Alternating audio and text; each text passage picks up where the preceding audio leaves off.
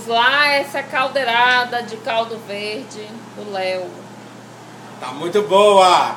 Fio a couve que vai ser colocado já né, já. A couve.